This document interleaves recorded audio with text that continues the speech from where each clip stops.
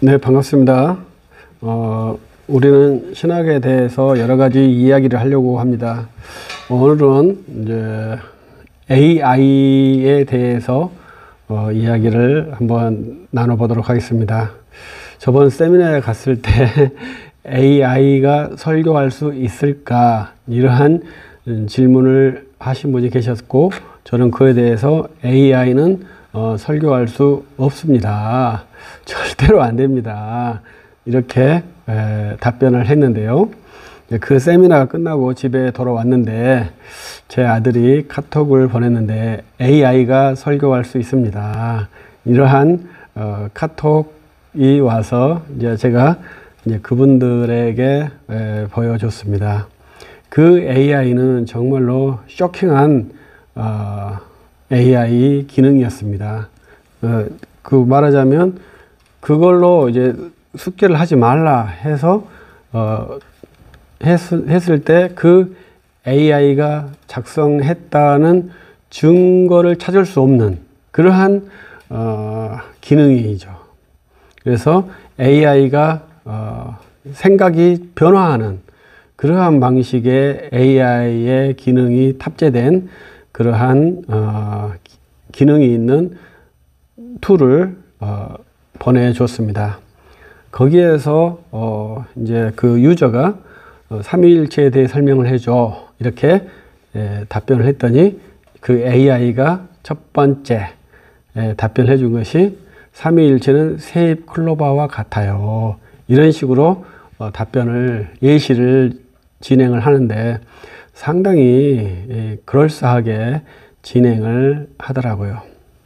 그런데 삼위일체를 세이 클로바로 비유하는 방식이 정당할까요? 삼위일체는 무엇과도 비유, 어떠한 형태로도 비유 방식을 사용하면 안 됩니다.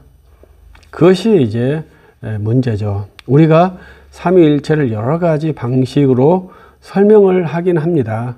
그러나 어떠한 방식으로도 삼위일체를 설명할 수 없다라고 한 것이 기본 전제해야 돼요. 근데 그 AI는 아주 충실하게 세입 클로바라고 어, 답변을 하더라고요. 그래서 이러한 것들이 어, 신학을 어떻게 에, 핸들링 할 것이냐 하는 그러한 자세에 있다고 볼 수 있습니다. 신학은 이해를 추구하는 학문이 아니거든요. 신학은 합리를, 합리를 추구하는 것이 아닙니다. 신학은 경건을 추구합니다. 근데 AI는 경건을 추구할 수가 없잖아요. AI는 영을 추구할 수가 없잖아요. 그렇기 때문에 AI는 설교는 할 수 없죠. 합리적인 판단, 합리적인 대안, 이건 가능하겠죠. 그러나 경건한 학문, 영적인 학문, 이것은 AI가 할 수 없는 기능입니다. 그런데 AI가 설교할 수 있느냐? 이것은 이러한 기능적인 면과 전혀 다른 문제에 봉착하게 됩니다. 이것은 좀 더 뒤에서 말씀을 하도록 하겠습니다. 먼저 우리가 AI라는 것이 우리 사회에 깊숙이 들어와 있죠. 그래서 옛날에는 우리가 로봇 이렇게 말했는데 로봇은 단순 입력을 처리하는 그러한 기기를 로봇이라고 합니다. 그러나 AI는 단순 입력이 아닌 스스로 판단하는 기능이 있는 로봇을 AI라고 말합니다. 그래서 우리가 이 로봇과 AI가 이미 인간의 노동력의 50%를 초과하고 있다고 합니다.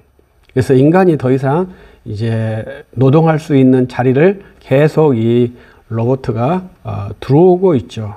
지금 우리나라에서도 어, 커피를 만드는 것, 또 어, 닭을 튀기는 것 이러한 것에 계속 이제 로봇팔이 들어와서 어, 그 사람의 인력을 대체하고 있는 것이 현재 우리 상황이고요.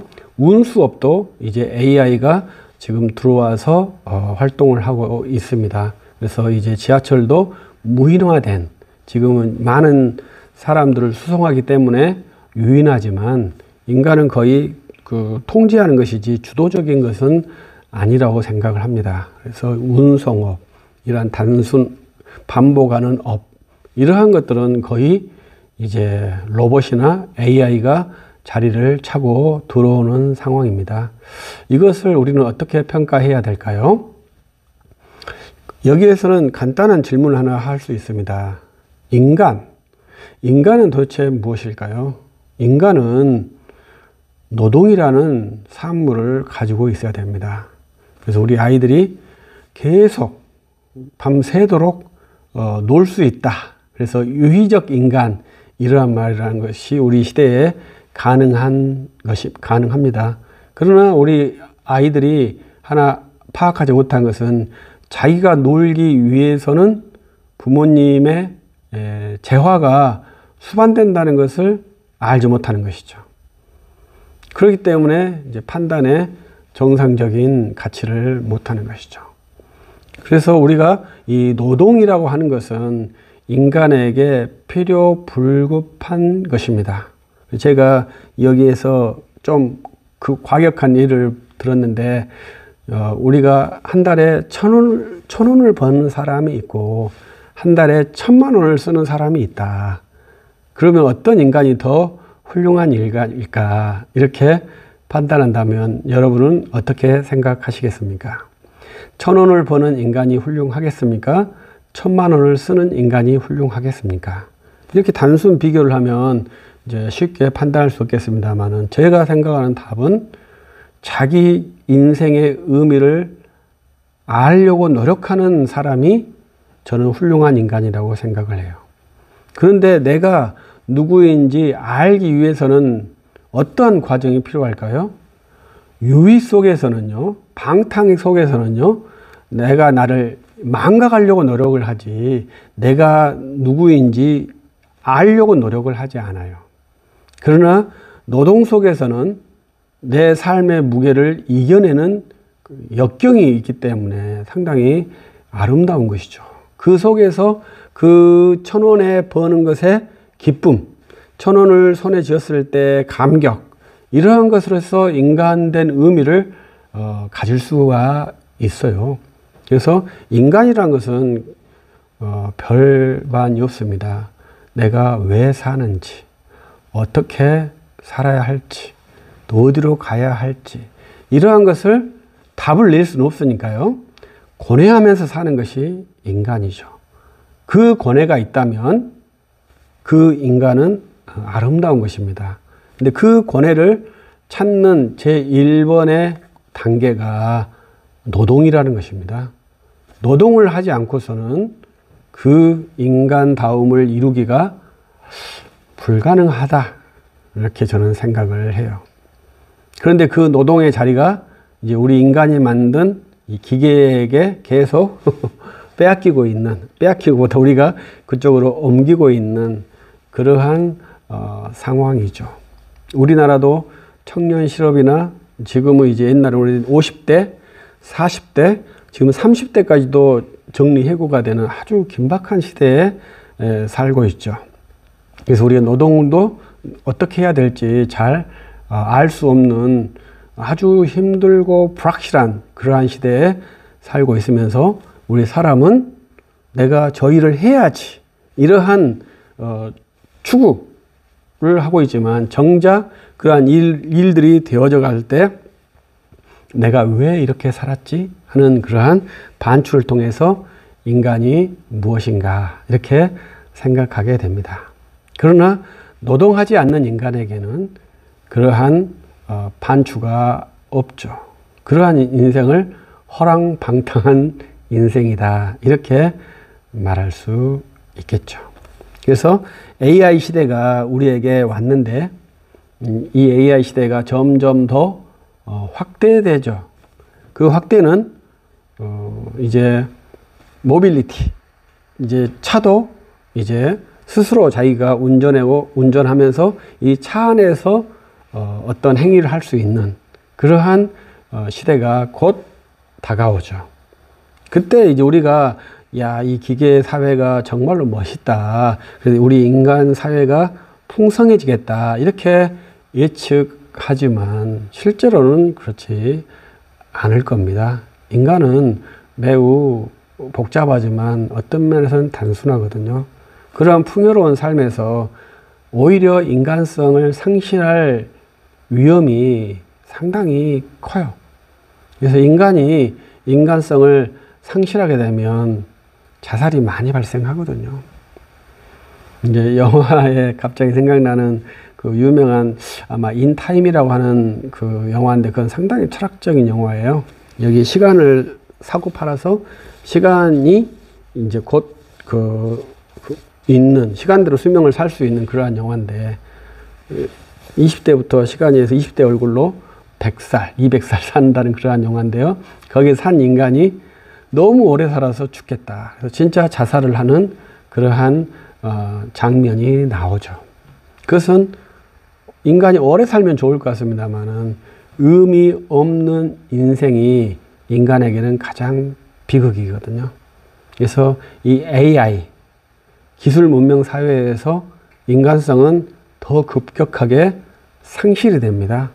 그래서 인간성 박탈로 갈 거냐, 아니면 어, 정말로 영적인 존재로 돌아올 것이냐, 이러한 극단적인 선택을 해야 되는 것이 우리 현대 사회의 어, 위기입니다.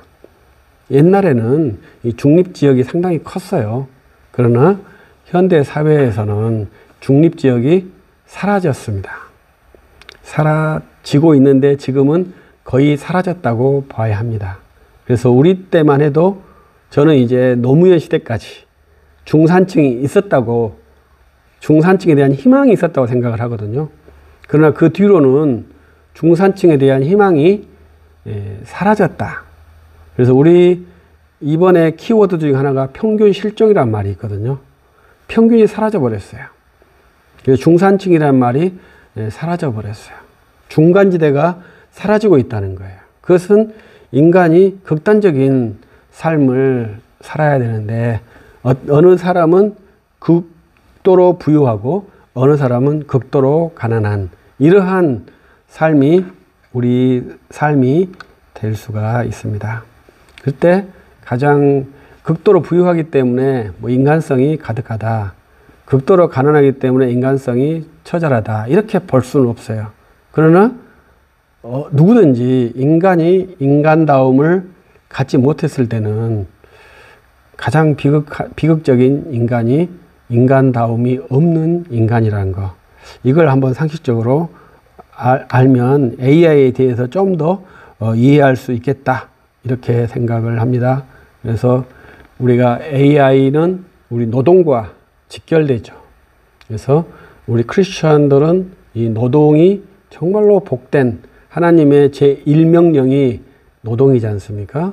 이것은 어, 범죄하기 이전에 노동은 하나님의 고유한 어, 명령으로서 우리 이 창조 세계를 운영하기 위한 제1 조건이 노동이거든요.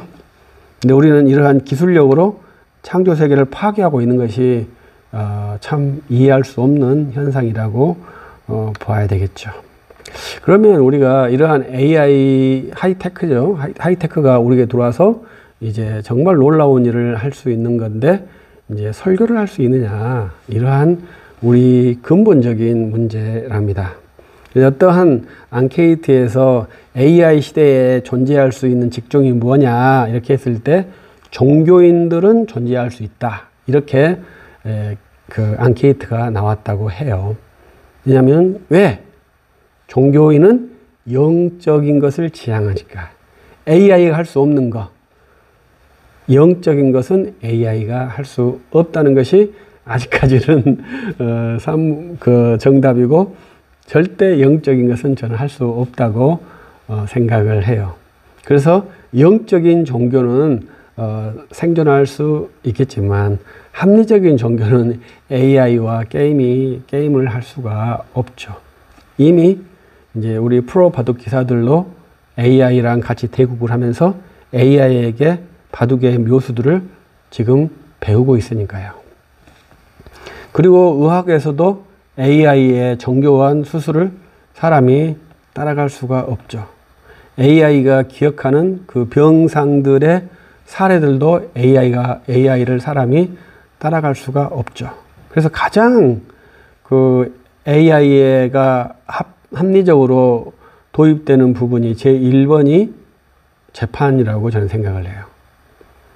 그래서 우리 판사님들, 검사님들, 변호사님들은 판례를 다 기억하지 못하지 않습니까? 그러나 AI는 우리 대한민국 판례뿐만 아니라 세계 모든 판례들을 다 어, 숙지해서 변호안에서 어, 예시할 수 있는 거기에서 최적의 조건을 어, 알고리즘으로 뽑아낼 수 있는 그러한 능력이 있어요. 그것을 그대로 적용할 것인지 사람이 다시 조합해서 판단할 것인지 이렇게 나가는 것이 예측이 되죠. 병원도 마찬가지죠. 그래서 병원 증상에 맞춰서 어, 분별할 수 있는 능력이 예, 사람과 어, AI의 판단 능력이 훨씬 더 AI가 좋겠죠. 이것은 다 모두가 다 합리적인 사안이고 기억의 사안입니다. 그러나 우리 예, 종교에는 합리와 기억이 아닌 영적인 것을 추구하기 때문에 AI가 아, 불가능하다 이렇게 예, 말할 수 있는데요. 우리는 영적이라고 하면서도 설교를 하는 것이 우리 그 개신교고요. 천주교는 미사라는 것을 통해서 어, 성례를 집례하는 그러한 행태가 아, 이런 거죠. AI가 성례는 AI가 성례도 집례할 수 있기도 하겠네요. 지금은 서빙도 할 수 있으니까요. AI 사제가 어, 성례를 집례하면 될까요? 이런 것은 어, 불가능하다고 쉽게 나올 수 있겠습니다만은 이제 왜? 그러나 이제 교황이 AI가 되겠다라고 선언하면 또 그것도 모를 일이긴 하겠습니다만은 저는 이제 가능하지 않다고 생각하고요. 이러한 것들에 대해서 우리에게는 설교, 설교가 우리에게, 개신교에게는 아주 민감한 음, 사안입니다. 그래서 AI가 어, 설교를 할 수 있을까? 이것은 두 가지 질문을 만나게 됩니다. 첫 번째, AI가 설교문을 작성하고 그것을 설교자가 읽으면 되지 않느냐? 이러한 문장이 될 수 있고요. 두 번째로는 AI가 직접, 음, 그 우리가 그 돌아가신 분의 설교 문장을 다 주입해 놓고 AI에게 설교를 시키면 이 AI가 설교를 하면서 다시 데이터를 업데이트해서 다시 데이터를 만들면서 그 사람의 음성으로 설교를 할 수 있다. 어, 이런 거잖아요. 지금은 이제 그 성형 기술도 발달됐기 때문에 그 사람 모양으로 하고 그 사람의 목소리도 나올 수 있도록 하는 기술까지 충분히 구현할 수 있습니다. 이러한 것에 대해서 우리가 말할 수 있겠습니다. 먼저 어, 설, AI가 설교 문장을 만들 수 있을까요? AI가 설교 문장을 만들 수 있을까요? 만들 수 있다. 이건 음, 정답이겠죠. 그런데 AI가 설교 문장을 만들 수 있으니까 우리가 설교 문장을 가져다가 어, 설교하면 되지 않느냐 이렇게 말할 수 있겠죠. 그러나 우리는 이미 설교 표절이라는 것이 우리 사회에는 상당히 작동하고 있습니다. 남의 설교를 내 설교처럼 하는 것은 도둑질이다. 이렇게 평가하는 것 아닙니까? 그럼 AI가 만든 설교를 설교자가 그대로 가지고 왔다. 그것은 설교 표절에 해당되겠죠. 그래서 어, 정상적인 설교는 아니겠다. 이렇게 간단하게 말할 수 있겠습니다. 그러나 저는 바른 설교를 반복하는 것에 대해서 어, 표절이라고 말하지 않고 서, 설교에 대한 반복이라고 저는 말을 하는 사람이거든요. 그렇다면 이 AI가 바른 설교를 만들 수 있을까? 이거에 대해서는 어, 좀 더 심도 있게 고려해 보아야 한다고 생각을 합니다. 그래서 우리들은 프로 바둑 선수들이 AI를 통해서 대국을 연습하는 것처럼 AI가 아, 만든 설교 문장을 한 번 정도는 살펴볼 필요도 있다고 생각을 해요. 그러나 그것을 그것이 예, 내 설교는 아니지만 내가 파악하지 못한 그러한 어, 어휘들, 그러한 착점들, 이러한 것들을 AI는 볼 수 있기 때문에 그 AI가 성경과 신학 데이터들을 어떻게 모으는가, 이러한 데이터 베이스와 그것을 내가 어떻게 활용할 수 있는가, 이러한 도움으로는 AI의 관점을 어, 도움을 받을 수 있겠죠. 그러나 그것을 반복하는 것은 아주 전혀 다른 문제입니다. 그래서 어, 우리 개혁교회 전통에서는 장로님들이 설교를 하시는데 그때는 어, 설교를 반복하는 반복하게 하는데 반복하는 설교자의 이름을 밝히도록 하죠. 그래서 합법적인 설교자의 설교를 내가 반복하고 있다. 이것을 청중들이 알게 하고 설교를 반복합니다. 그래서 만약 내가 어떤 목사님의 설교를 반복한다. 그러면 성도들에게 그것을 밝히면 되죠. 내가 이 목사님의 설교를 그대로 100% 반복하는 설교를 여러분들에게 한다. 그 한 이유는 이 설교가 너무 좋고 어, 가마력이 있어서 내가 그대로 반복하겠다. 이렇게 에, 당의 설악을 받고 반복을 하면 아무 문제 없다고 저는 생각을 해요. 그러니까 AI의 설교를 반복하겠다 그러면은 성도들에게 저는 이제 그것이 영적인 문장을 만들 수 없다 생각하기 때문에 그렇습니다만은 AI가 만든 설교 문장을 그대로 반복합니다. 이 AI가 만든 설교 문장은 두 번 이 똑같이 두 번 질문하면 똑같은 답이 두 번 안 나온다는 것이 AI의 특징입니다. 그래서 AI가 어, 오늘 이 답을 냈고 또 내일 물어보면 또 다른 답을 낸다는 거예요. 그것이 현재 우리가 AI가 갖고 있는 아주 탁월한 기술이죠. 그래서 우리들이 만약에 그것을 정확히 말한다면 어, 괜찮겠죠. 그러면 설교자가 거짓말도 하지 않고 청중들도 그 설교 문장을 정확하게 어, 신뢰할 수 있고 그런 인격적인 교감을 할 수 있겠죠. 그것은 이제 어, 선택의 문제고 양심의 문제라고 생각을 하고요. 그리고 이제 두 번째로는 그렇다면 AI가 만약 말을 한다면 지금 이제 메타버스라는 그러한 어, 기술이 구현되기 때문에 메타버스라고 하는 것은 아바타가 있지 않습니까? 이 아바타라는 것, 아바타라고 하는 것은 내가 죽어도 이 아바타는 움직일 수 있는 거예요. 그래서 나의 역할을 내가 죽어도 대신할 수도 있을 겁니다. 알고리즘만 넣어주면은. 그래서 이 아바타가 계속 성도들을 회집하면서 메타버스 공간에서나 구현할 수도 있고요. 있을 거고요. 또 우리 말했다시피 이 마네킹, 내 모양의 인형을 세워서 말할 수 있겠고요. 또 지금은 아직 구현되지 않았지만 가능한 것은 홀로그램 영상. 아주 고난도의 홀로그램 영상을 통해서도 어, 스피치를 할 수 있을 것입니다. 그러면 이러한 AI가 전하는 설교를 들을 수 있을 것인가? 어떻게 생각하십니까? 이것은 저 생각할 때는 성도들의 양심의 문제에 달려 있다고 말씀을 드리고 싶어요. 지금 우리 시대는 누군가가 된다, 안 된다, 이렇게 규정하는 시대가 아닙니다. 스스로 판단을 해야 합니다. 이 시대는 무한한 개방성을 추구하고 있기 때문에 모든 것을 다 행위를 할 수 있고요. 그것을 규약할 수 없습니다. 또 교단에서 그걸 규약한다고 하지만 저희 교단이 대형 메모드 교단이라고 합니다. 그런데 300만 밖에 안 돼요. 대한민국은 5천만 인구입니다. 300만의 규약만 가지고 있어요. 4,700만의 규약은 또 달라요.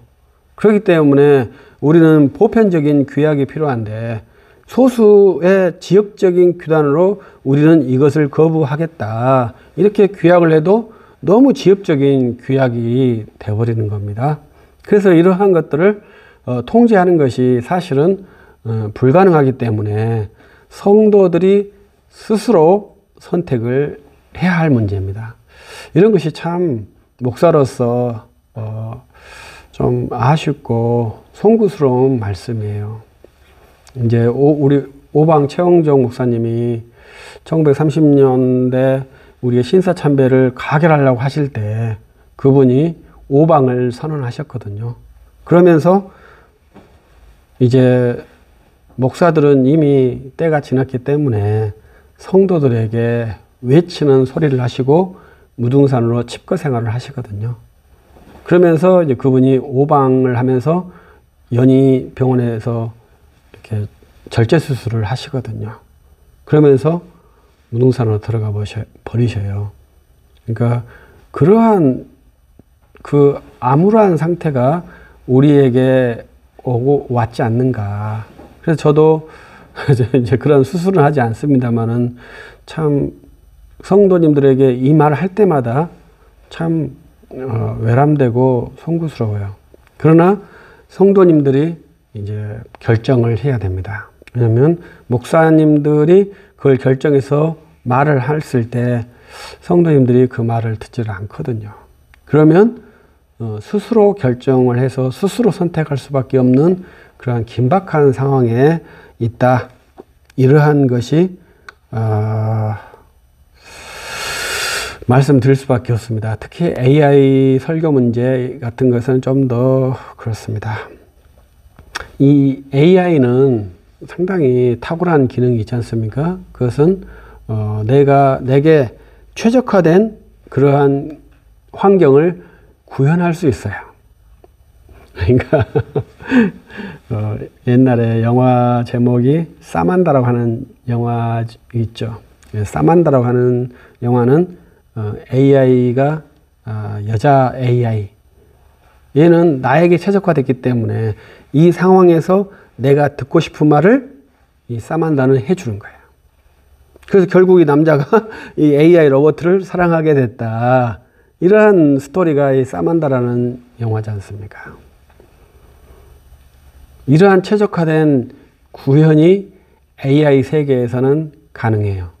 내 feeling, 내 심장 박동수, 내 이러한 스트레스 지수들을 얘가 파악을 해서 이것을 힐링할 수 있는 음악을 틀어줄 수 있고, 내가 원, 이 상태에 적합한 wording을 말해줄 수 있는 그러한 기능이 이미 확보가 됐어요. 상용화가 안 됐다고 볼 수 있지만, 그래서 이미 그것이 움직이고 있죠. 그래서 우리가 어, 구글 검색이나 어, 유튜브 검색, 이때는 이미 알고리즘이 작동하기 때문에 내가 본 내 컴퓨터에서 유튜브, 보는 유튜브와 내 옆에 있는 친구가 보는 유튜브의 화면이 다르지 않습니까? 이 화면은 내가 계속 해왔던 행위에 맞게끔 이 화면이 떠주는 거예요. 구글도 내가 검색했던 것에 가깝게 항상 구글링이 되도록 어, 되어지는 거예요. 그래서 저는 가끔 구글도 제 컴퓨터가 아닌 다른 컴퓨터로 검색을 해봐요. 왜냐하면 이 구글은 나에게 최적화된 데이터를 주려고 나에게 맞춰서 Googling을 해주거든요. 그것이 AI가 갖고 있는 놀라운 능력이죠. 그러니까 우리가 원하는 그 말했듯이 목사님의 음성, 그리고 목사님의 모습, 제스처, 이러한 것들을 모두 다, 어, deep learning 시키면 얘가 그것을 그대로 어, 영상도 될 수도 있고 로봇도 될 수도 있고 홀로그램도 될 수 있고 이러한 것으로 어, 구현을 시킨다는 것이죠.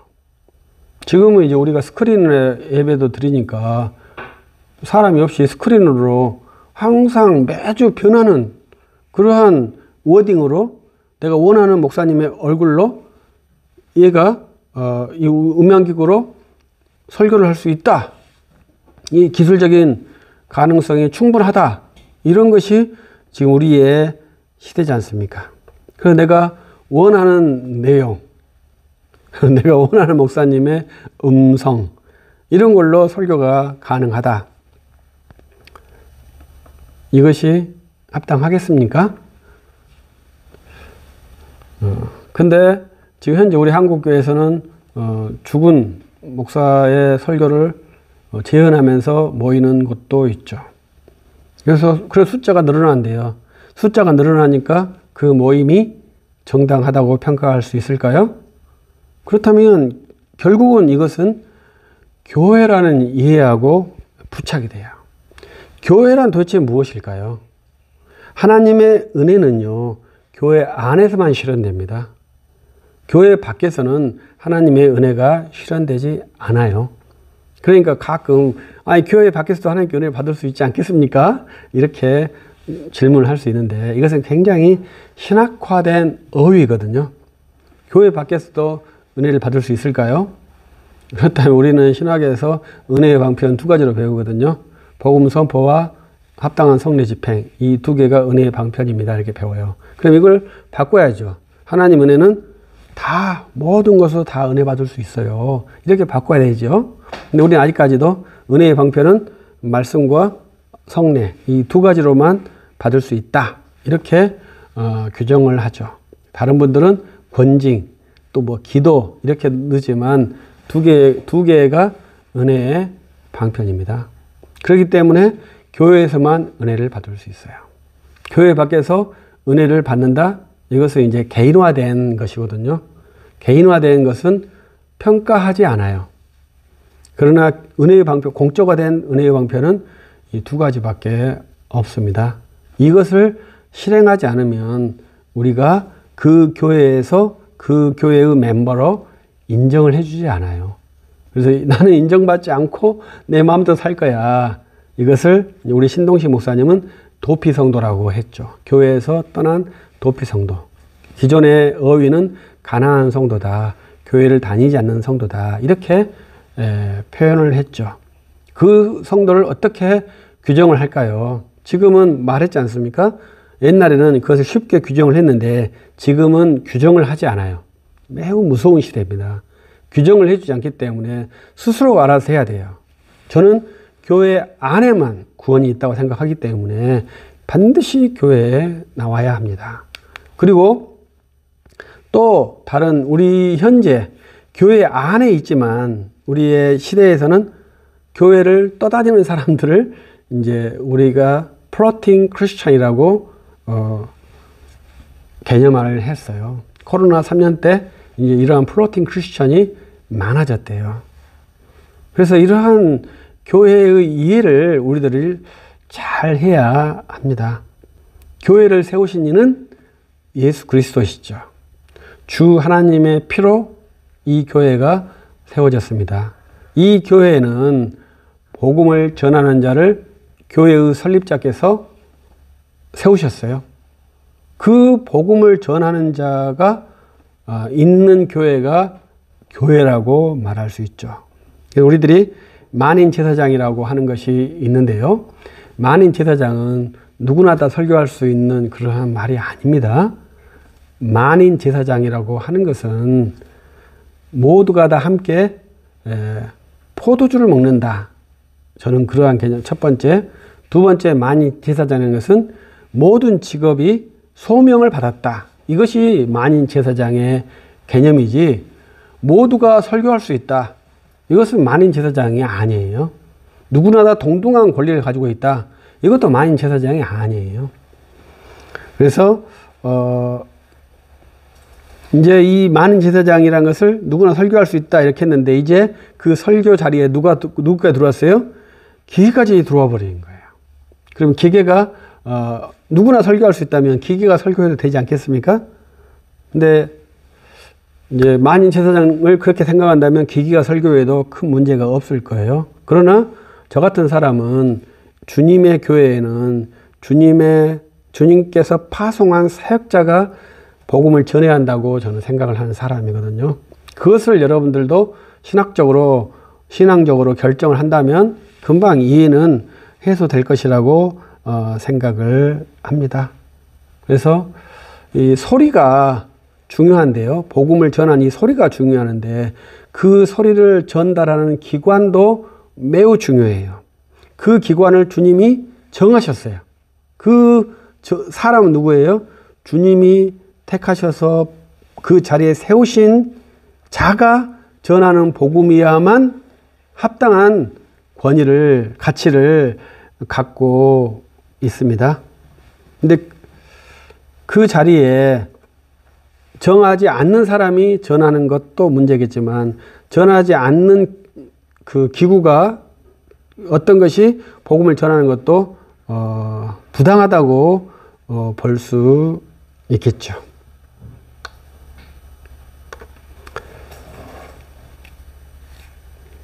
그래서 우리가 복음이란 것이 무엇인지를 우리들이 잘 알 수 없겠습니다만은 복음의 중요한 원리는 이해를 추구하는 것이 아니라는 것입니다. 복음은 이해를 추구하는 게 아니에요. 그래서 어, 주님의 말씀, 이 복음에 귀를 기울이는 사람들은 성령이 하시는 말을 들어야 되거든요. AI는 성령이 하시는 말씀을 할 수 없죠. 왜? 성령의 내주가 없잖아요. 그러나 크리스천은 성령이 하시는 말씀을 하실 수, 할 수가 있죠. 왜냐하면 성령의 사람이니까요. 그것이 아주 중요한 원리입니다. 그래서 제가 단도직입적으로 AI는 설교문을 만들 수가 없어요. 이렇게 말하는 것은 AI에게는 성령이 있을 수가 없잖아요. 그래서 우리들은 어, 성령이 하시는 말씀을 듣는 어, 주의 자녀들이다. 그래서 AI가 설교할 수 없다. 이렇게 단정적으로 말을 해요. 그래도 AI가 설교 문장은 만들 수도 있죠. 그냥 그것이 그것을 그대로 반복한다는 것은 뭐 선택하는 것이고요. 설교자가 선택하는 것이고 말하지 않으면 AI 것을 표절하는 그런 무단 도용이 되는 것이고 AI를 돈 주고 내가 샀다 할지라도 성도들에게 거짓말하는 것이 되겠죠. 성도들도 아 우리 목사님이 AI로 들은 설교를 나에게 좋은 말씀 하기만 하면 좋아 이렇게 상호 선택할 수 있다는 것이죠. 그랬을 때 거기를 교회라고 말할 수 있느냐 이것은 또 전혀 다른 문제죠. 교회는 사람의 모임이 결정한 것이 아니라 교회를 세우신 이가 결정하는 일인 것이거든요. 그래서 우리들이 그것을 자의적인 행동이야 지금은 통제할 수 있는 기관이 예, 사라졌죠. 아직까지 그 통제하는 집단은 로마 카톨릭 또 중앙 집권적인 그러한 종교에서만 통제할 수 있지 어, 한국 교회, 한국의 장로교회처럼 자유스러운 교회에서는 통제가 불가능하죠. 그렇기 때문에 스스로 선택해야 되는 그러한 긴박한 환경에 있다. 이렇게 말씀을 드릴, 드리겠습니다. 마지막으로 이제 은혜 받음에 대해서 간략하게 말씀드리고 마치도록 하겠습니다. AI가 어, 유명한 목사님의 설교를 통해서 은혜 받을 수 있지 않겠습니까? 이렇게 말을 할 수 있지 않겠습니까? AI 저는 설교를 통해서 은혜를 받을 수 있을까요? 저는 은혜를 받을 수 없다고 말씀을 드리고 싶어요. 이것은 좀더 어, 엉뚱한 비유로 말씀을 드리고 싶으면 제가 어, 웨스트민스 신앙고백서 책을 만들 때 일반 도서를 통해서는 은혜를 받을 수 없다 이러한 표현을 썼거든요. 누가 이제 그에 대해서 어, 그러면 조직신학 책을 읽고도 은혜 받을 수 없단 말이냐 이러한 도전적인 질문도 하셨는데 조직신학 책 아니면 신학 책 책을 읽고 은혜를 받을 수 있겠습니까 없겠습니까? 은혜를 받을 수 없다는 거예요. 왜? 은혜 받을 방편이 정해졌다 했잖아요. 복음 선포와 합당한 성례의 집행을 통해서 은혜를 받는다. 이게 우리에게 매뉴얼로 정해져 있어요. 그러면 내가 경건 도서를 읽으면서 아, 이 감동을 받았어요. 이것을 은혜라고 말 수 있겠습니다만은 매뉴얼로 결정할 때는 그것은 개인화된 경건 체험이지 그것이 은혜다. 이렇게 등가를 시킬 수 없다는 것입니다. 왜 제가 이렇게 말씀을 드리냐면, 우리 웨스트민스 신앙 고백서에서는 성경을 66권이라고 규정을 했어요. 그리고 외경은 일반 도서다. 일반 도서로서 영적 유익이 없다라고 규정을 했어요. 외경에 영적 유익이 없대요. 이렇게 규정을 했기 때문에 그것을 왜 그렇게 말했겠어요? 외경을 읽고 설교하지 말라는 것이거든요. 그래서 은혜가 없다라고 일반 도서와 같다는 거예요. 외경을 읽어서 하나님의 신묘막측한 그러한 섭리를 파악할 수 있죠. 그러나 그것이 은혜가 아니고 그것은 지식이고라는 것이죠. 우리가 경건 도서를 읽으면서 놀라운 체험을 할 수 있죠. 그것은 은혜가 아니고 개인 경건 체험이라고 하는 것이다 이 말이에요.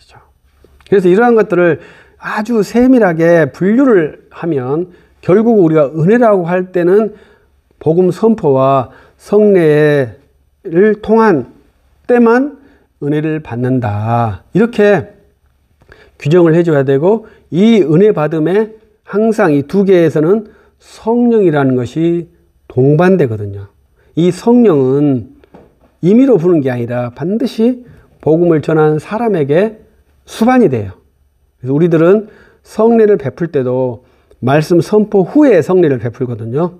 그것은 이 말씀 선포자와 성례 집행자가 같아야 된다는 원리예요. 그리고 이 사람은 축도까지 모두 다 같아야 돼요. 원리가. 그래야 권위가 서요. 축도도 내가 목사기 때문에 축도하는 게 아닙니다. 이 축도도 내가 복음을 전하는 자로서 전했기 때문에 그 권위에 의해서 축도를 하는 거예요.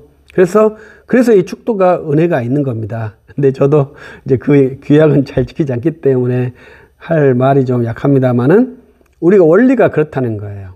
그래서 우리가 은혜 받음이라는 것은 매우 특별한 하나님의 선물이지 개인 뭐 감정의 흔들림이나 이런 것을 은혜라고 말할 수는 없어요.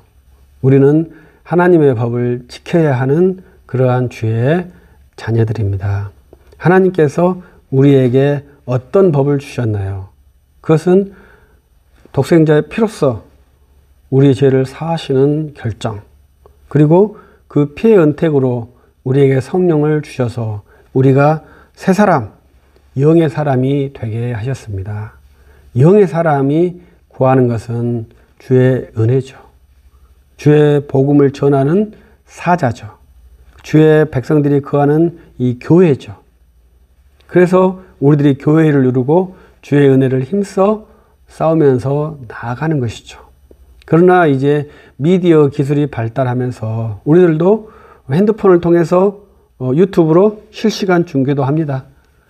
이것이 얼마나 우리가 미디어 기술이 발달되었는지 알 수가 있죠.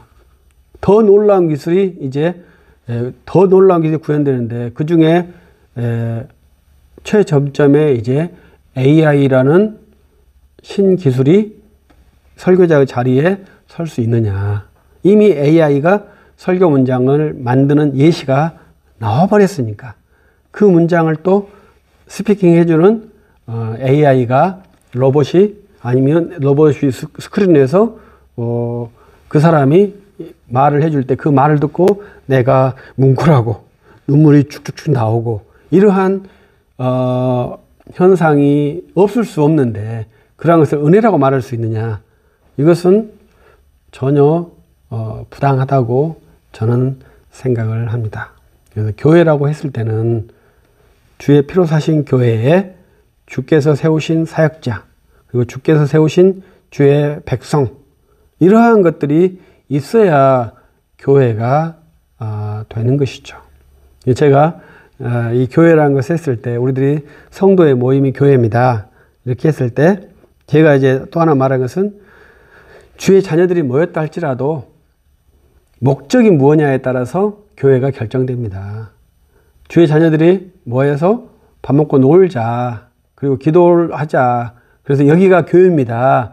이렇게 말할 수 없습니다. 교회는 반드시 예배하기 위해서 모일 때 그 규정된 장소, 규정된 시간에 모일 때 거기가 어, 교회이고 예배가 됩니다.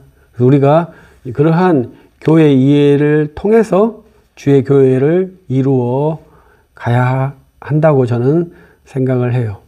그러나 우리가 너무나 어, 그 개방된 사회를 살고 있기 때문에 그렇게 하지 않는 사람들에 대해서 어, 뭐라 말할 수 없고요. 또 이렇게 하는 사람들을 뭐라고 말할 수 없는 그러한 어, 무한한 개방성 사회에 살고 있다는 것이 참 안타깝기도 합니다.